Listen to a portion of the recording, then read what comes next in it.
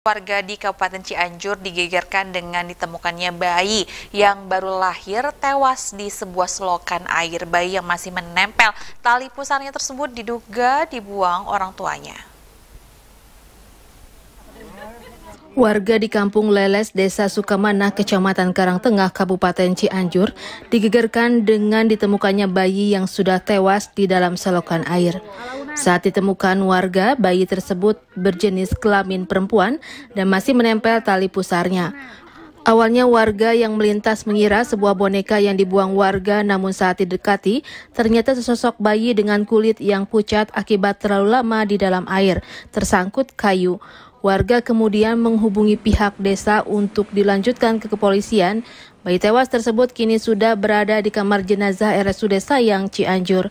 Kuat dugaan bayi tersebut dibuang kedua orang tuanya karena tidak ingin diketahui bayi tersebut lahir hasil hubungan gelap.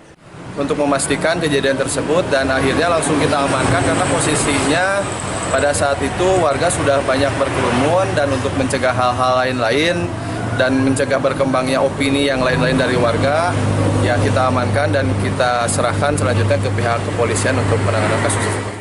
Sementara itu kasus ini masih dalam penyelidikan Polsek Karangtengah dengan mencari orang tua bayi. Heri Setiawan, Bandung TV.